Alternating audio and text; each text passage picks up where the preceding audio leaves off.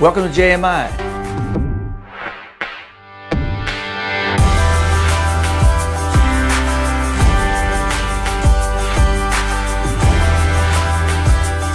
But before we get back there and go through the manufacturing and the assembly areas, I'd like to take a few minutes and explain a little bit about our company and the history of JMI. So uh, we have a little understanding of where we came from and, and how we came into being.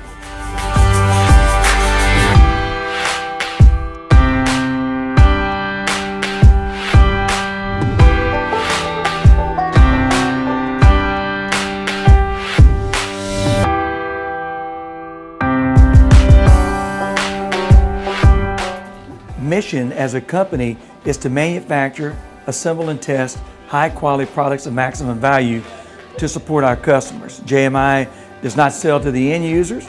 Our role is strictly to make sure that we're um, manufacturing high quality equipment and supply that to the service companies out there who have the additional support required for the installations and for the uh, applications in the field.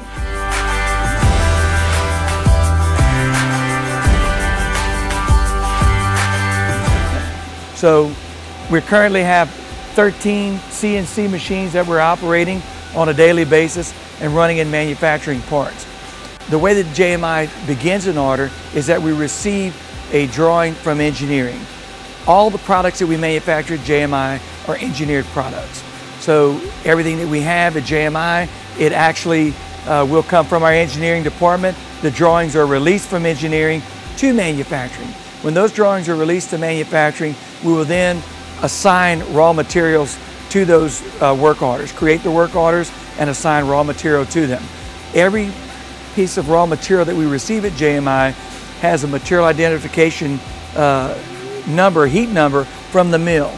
We take that mill heat cert number, we issue what we call a J number on it, and you'll hear me talk about that a couple more times throughout this tour. That J number is our batch number or heat number for the raw materials. That material will then be distributed out to the jobs, signed to the jobs, the work orders are cut and released to manufacturing.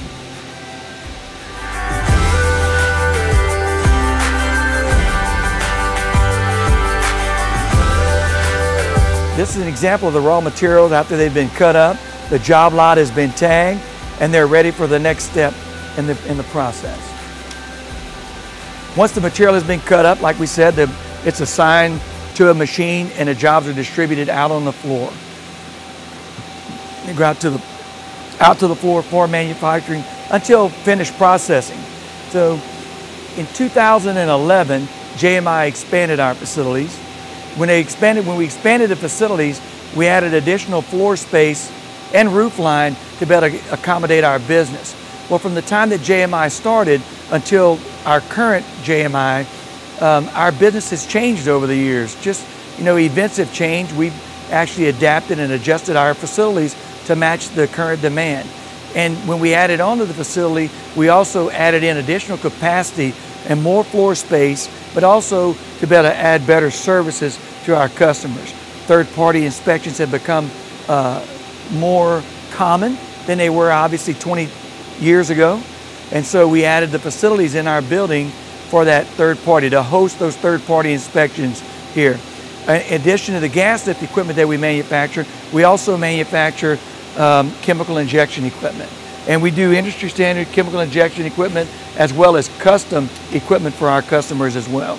So the custom equipment, um, we have, it's usually made to order equipment. That equipment is typically assembled and tested in this room right here. We have the capability now at JMI uh, where we routinely test up to 15,000 pounds. Our quality department is fully staffed.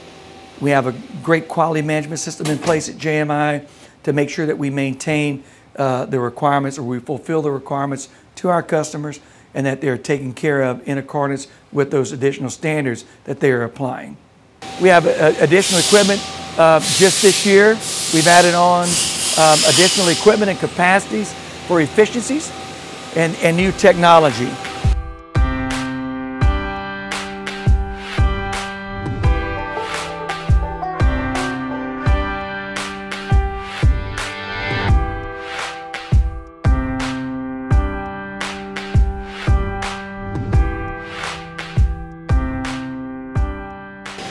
So after, after the parts are released from final inspection, some of those parts will make their way back to the bellows welding room to complete the sub-assemblies by attaching the bellows to them. We're going to go take a look at that right now. After the parts are released from manufacturing, after the final inspection, uh, the parts for the sub-assemblies, for the bellows sub-assembly, are brought back uh, to the bellows welding room and then where they're going to continue for further processing to complete the sub-assemblies. So the bellows is a very important part of the valve. Obviously, the heart of the valve. It's always been identified as. So the bellows is made up of three plies of material. So this thing is manufactured with 3.005 5 thousandths tubes that are inserted inside of each other to form three plies. Those plies are then formed into the convolutions that as you see on this bellows. So the bellows is designed so that it functions as a spring, but it also, also holds pressure. So it becomes, uh, it creates the pressure chamber that becomes the closing force for the valve. So you have your casing pressure, your tubing pressure, then your closing force is the nitrogen charge that's being isolated inside of this bellows assembly. So this bellows assembly with these th three thin plies, we're asking a lot of it. We're asking it to operate at about 4,000 pounds differential across this bellows. The manufacturers state that this bellows is really rated for about 800 pounds. But the magic in this bellows functioning like it's supposed to with the high differentials across it is the way that it's assembled and the way that it's tested. So we put a lot of time and effort and we exceed what API requires when we're putting these bellows assemblies together. Uh, this is a standard, industry standard type bellows assembly that we're going to look at. This bellows is an inch and a half. This bellows is a one inch, very small, substantially difference in the size. Still manufactured the same way, both of them are three plies, and both of them are attached the same way. The inch and a half bellows, this is what it looks like in a subassembly once it's all put together. You have your dome, your bellows adapter, and the bellows itself. And it's been brazed on this joint right here on either end of it. it becomes a sealing, makes it sealed off. So your nitrogen charge ultimately will be in here. Your ball stem will be screwed into here, which goes down to your seat your casing pressure is going to work on the effective area of the outside of this bellows in order to give it to open the valve. That's going to open the valve. When the valve, when the pressure drops below the nitrogen charge, the valve will close. Your closing force will close the valve. So Altec has their own proprietary design on gas lift bellows attachment. They use an inverted method. So right now the bellows on, on there, the casing pressure is functioning and working on the outside of this bellows area. On Altec's valve, the bellows or the casing pressure is working on the internal convolutions of the bellows for your to open the valve. The difference is when the casing pressure is applied to the outside of an industry standard valve, the bellows compresses to move the ball stem off of the seat. On the case of the Altec valve, it's inverted. So the pressure is working on the inside of the bellows. It will extend the bellows in order to open the valve, to pull that ball stem off of the seat and extend. Altec's proprietary design on their constant flow valve has a real hydraulic protection in it. So there's a fluid that's installed inside of this bellows assembly along with the nitrogen charge. When that valve opens up on the Altec design, when the valve casing pressure works on the effective uh, inside of the bellows, removes that ball stem off the seat. The bellows will then hit a hydraulic seal. When it gets hydraulic, when it hits a hydraulic seal, you lock that fluid around the bellows. You can't compress the liquid, so therefore you can't start the bellows. And it's just a superior design.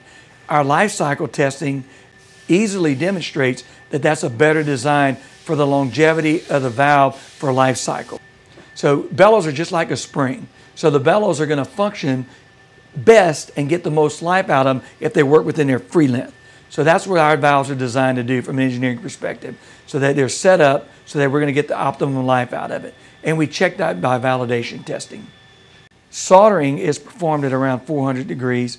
Brazing is typically performed around 1200 degrees. So when you're going to be looking at the welding process, when they're attaching this bellows on to the manufactured dome, what you're going to see is it's going to turn red and that braze wire or the braze becomes liquid. It's 1200 degrees at that point. It's a special application.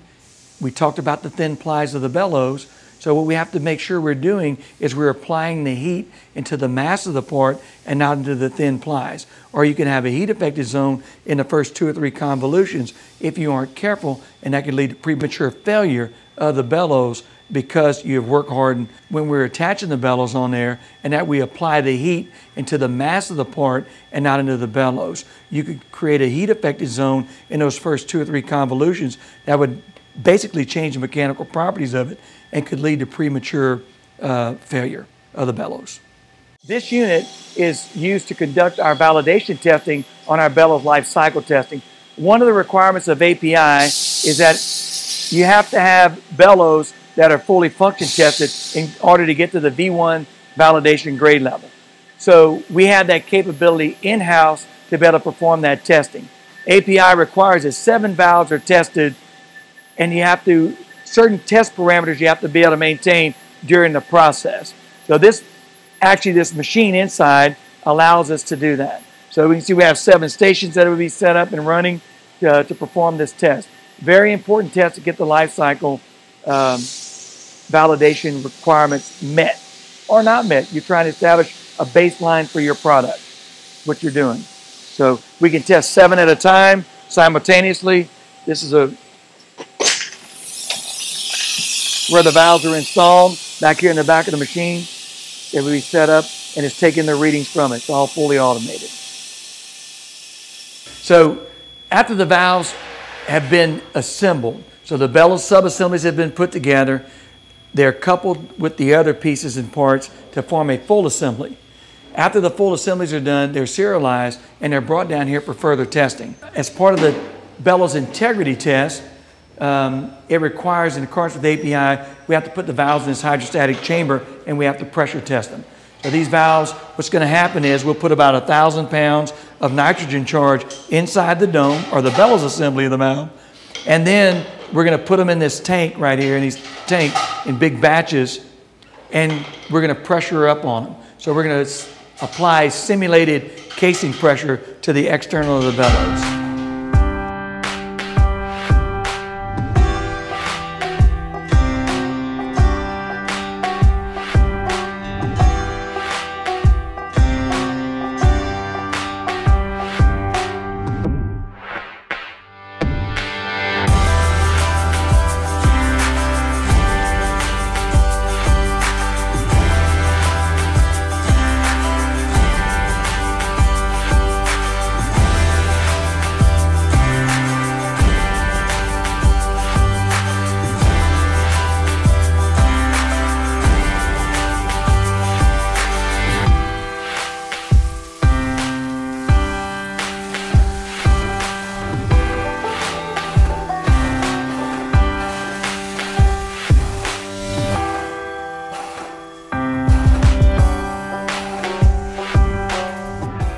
So the API specification calls for the hydrostatic test to be as follows.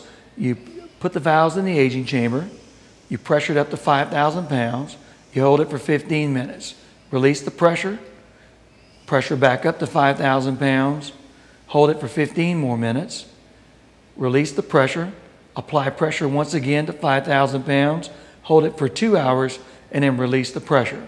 That's a complete hydrostatic aging test in accordance with API 19G2 specifications. What JMI does is a little bit different. We exceed what API requires, and this is based on our learning over the years and understanding and experience. It's not cost efficient, it's not uh, cost effective. However, we think it is the right thing to do for the product to perform a real bellows integrity test, and so this is how we do it. We'll put the valves in the aging chamber. We'll uh, fill it up with water, purge the air out the tanks, just like we normally do. We apply pressure to 5,000 pounds. Put 5,000 pounds on it. We'll hold them for 12 hours or for overnight. We'll bleed that pressure off. We'll take them out of the tank, bring them up, bring them to the valve shop, cool them down to 60 degrees, run them through the test rack, and record the opening pressure by serial number in a logbook. Well, after we run all the valves through the test rack, we'll then take them back to the tank, insert them into the tank, purge the air out, pump them up to 5,000 pounds, hold them for two hours, bleed it off, take them out the tank, repeat the process by serial number, record the pressure, bring them back, put them in the tank, and we repeat that process four total times. So a bellows has what's called hysteresis. And so it functions softer and better and will be able to maintain its ability to open and close at the desired setting pressure better uh, as you age it, if you age it properly. So this is called a bellows stabilization test. That's why we do this extended process. We, we perform this process so the valves will be able to function better when they get to Altec or to the service company. The valves have been aged and now they're ready for the final processing. But what I did want to show you was the results of that testing. We talked about how the valves go into the tank and then we, we remove them from the tank cool them off, run them through the test rack, record the pressure back and forth at least four times as part of the JMI standard process, which far exceeds what API requires. This is the results of that testing. So by serial number, we actually document by serial number the findings of those each pressure recording. API states that the valves have to measure within 5 psi from the previous test. One of the things with the API test that we think is uh, not taken into consideration is that whenever a valve is put in an hydrostatic aging chamber, if you introduce it to pressure, release the pressure, introduce the pressure, release the pressure, do that three times, you don't know what happened between each time that valve was introduced to pressure. So what we're trying to find out if there's a change in the pressure between each cycle. This is why we've added the additional steps. So what those additional steps will tell us is a change in the test rack opening pressure, which is why we record those pressures. So earlier in the conversation, we talked about the three plies of bellows. It is possible that you could have one bellows fail inside the valve, but the valve still is able to maintain some pressure. What you've done though is you've effectively changed the area inside that bellows assembly. When you change the area in it, albeit small, it might change the opening pressure or it will change the opening pressure. So we're looking for that change in between aging cycles to determine if something is happening with that bellows assembly as part of the standard factory acceptance test. So if these valves run through four agings for us, the way that we perform that factory acceptance test, and they don't change more than five pounds through each aging cycle, an aging cycle is defined as pressure up, pressure released, and retested. Then that valve will pass and it'll be go, uh, it will be accepted as good for further processing. Every valve that JMI manufactures is held to a five-day shelf test. That five-day shelf test is API standard. So one thing that's important to remember is a quality measure for JMI. It makes no difference to us if the valve is going to be a monogram product or not. Everything is tested in accordance with API specifications. So we adhere to those standards, including the five-day shelf test. What the five-day shelf test does, it will tell you if there's an issue like a slow leak in a valve, and it's possible. So that quite simply is exactly what it says. After the valves are completed through the standard factory acceptance testing, you let them lie for five days, you cool them off, run them through the test rack one more time, a minimum of five days later, and you will check that opening pressure again.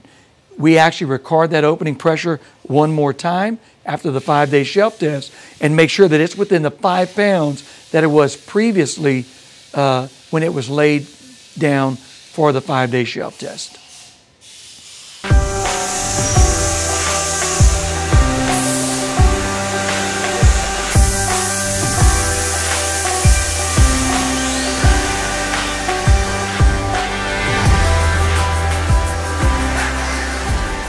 Part of the testing process on our recondition or on every new valve that we manufacture, we perform a mechanical stem travel check. And that's simply what it is. It's a, it's a test that's used to um, measure the distance that the ball travels from the seat when pressure is applied to that bellows assembly.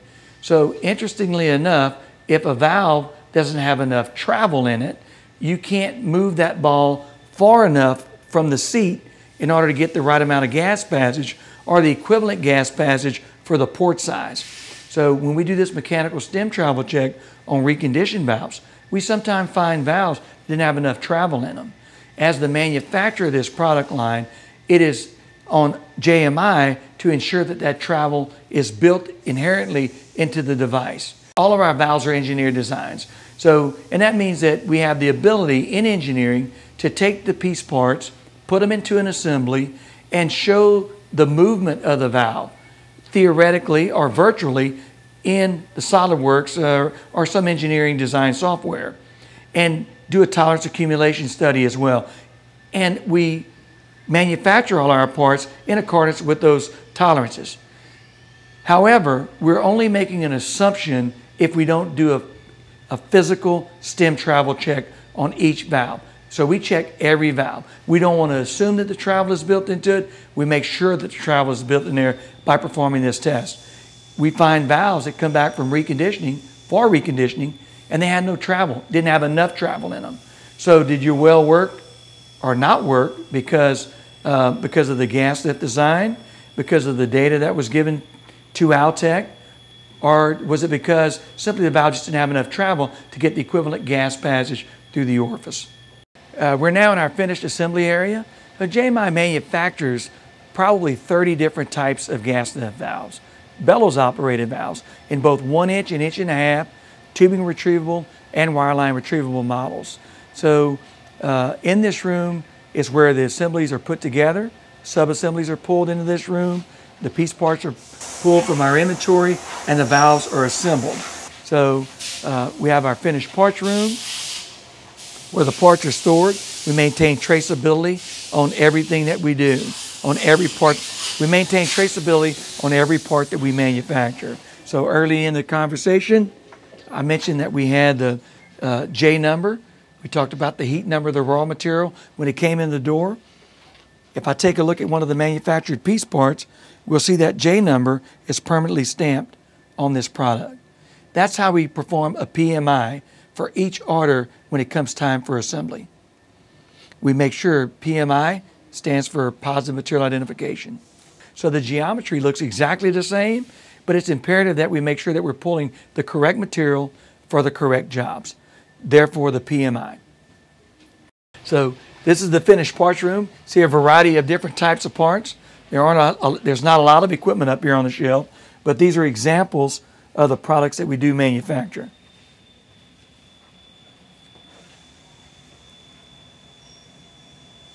One and a half inch latch, two different models. One of them's a ring style latch with a spring. This is the cam style. Our, JMI is a full product line manufacturer. So there are many tools that we do offer within the gas lift products. As an example, this is an industry, industry standard, one and one half inch injection pressure operated gas lift valve. That bellows assembly that we showed uh, being put together in the brazing room is right here in this valve. So you have your nitrogen chamber, nitrogen charge inside of this pressure chamber.